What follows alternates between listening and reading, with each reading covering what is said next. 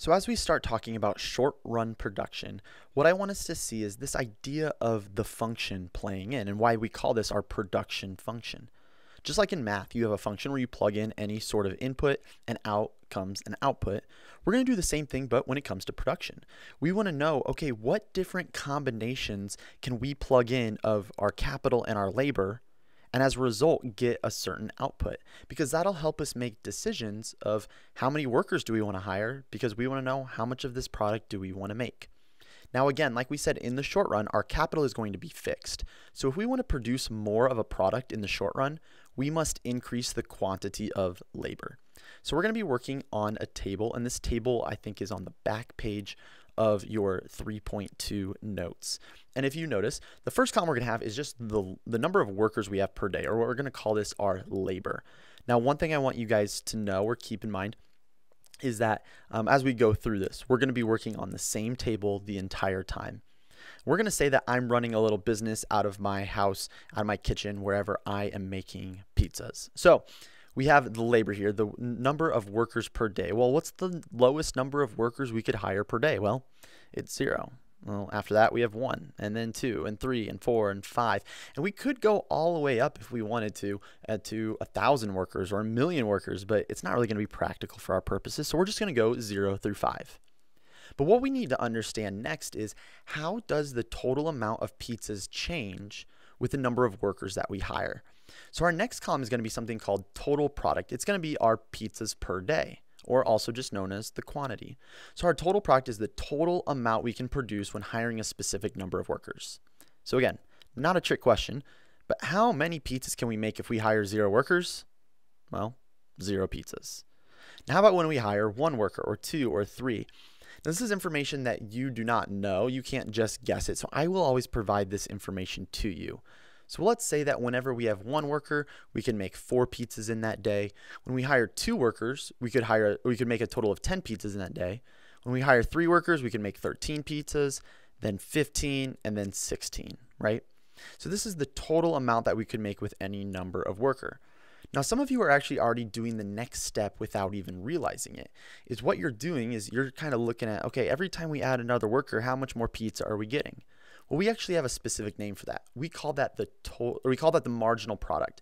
And with marginal product, we look back at our total product and we say, all right, every single time we add a worker, how much more pizza do we get? So what is the change in our total product when adding one more worker? You guys might remember this word marginal. Remember marginal just kind of means additional or the next one.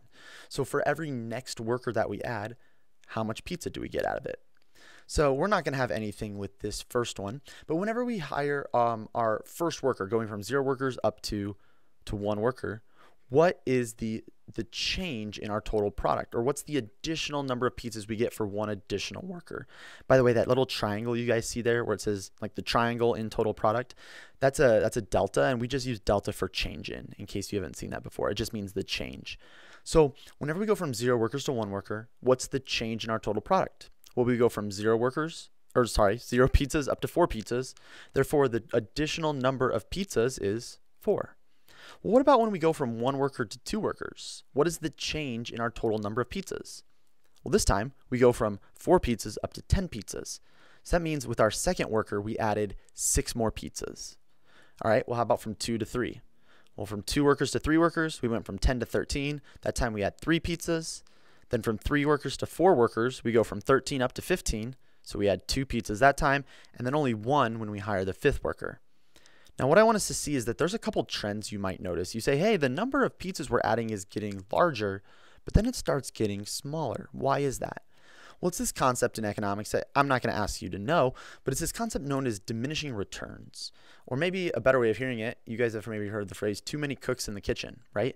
If I start hiring too many workers, we're actually going to start getting less productive at some point because my capital, or like maybe the size of my kitchen or the number of ovens or whatever it might be, that's fixed. So we can't have any more. So once we get too many people in there, we actually become less productive as a whole. Now let's move on and let's take a look at the next two columns.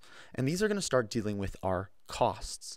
So our costs are the total amount of money that we have to spend in order to produce a certain number of goods. Now here's what we're going to see.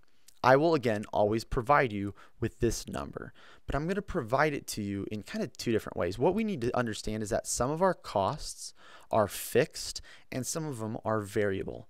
Fixed cost just means costs that we have to pay no matter what. Like you know that if you um, if you rent a, a, a kitchen space to make your pizzas, it doesn't matter. They don't care if you're making one pizza or a thousand pizzas. You still have to pay the same amount. It's sometimes referred to as your overhead, right? And so let's say that you pay $25 in rent um, for the day. So even when you hire no workers, you still have to pay $25. But let's say you pay that $25 plus $25 for every worker that you hire. Okay.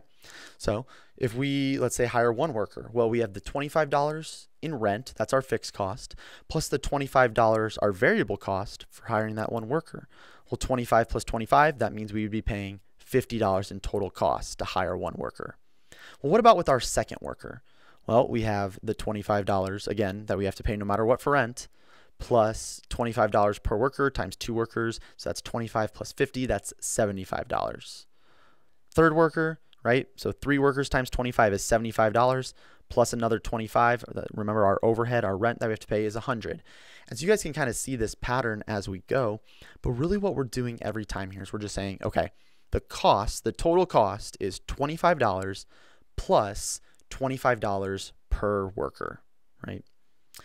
Now, this next column might be the trickiest one that people get hung up on. And it's not that we do any confusing math. It's just that people sometimes like rush through the math here. So this next column that we have, we want to understand is something known as marginal cost. Or really what we're saying is, okay, for every pizza that we add, how much more money are we spending for that pizza? For that one pizza, how much more money are we spending? So, if you notice our definition, an increase in total cost for adding one more product. Now, here's our formula, and this is where we have to pay very careful attention. Our formula for this is it's our change in our total cost divided by the change in our total product. So, all that's saying is, okay, how much more are you spending for how many more pizzas? So, we don't have a marginal cost here because we're not making any pizzas, but here's what we want to see next. If we look when we hire one worker, to move from zero workers to one worker, how much more money are we paying? Well, we already were paying our $25, so we're just paying another $25 to hire that first worker. So our change in our total cost is just $25 because we went from $25 up to 50. So our change in total cost is $25 plus our change in total product, which again is just another way of saying our marginal product. How many more pizzas did we get by spending an additional $25? Well, we spent 25 more dollars and we got four pizzas out of it, right? Because by hiring that first worker for $25, we made four pizzas. 25 divided by 4 gives us a marginal cost of $6.25. Really what that's saying is each additional pizza that we we made hiring that first worker, it essentially cost us $6.25 to make that additional pizza. This isn't the average cost per pizza, it's the additional cost per pizza. Now, how about this next step when we go from one worker up to two workers? So, what's our change in our total cost? Well, again, going from one up to two, we're only paying another $25 to hire that second worker because we're going from 50 up to 75.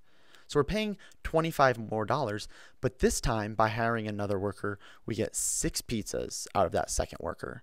So now what we'll do is we'll do 25 divided by six. And by doing that, what we see is that each one is $4.17.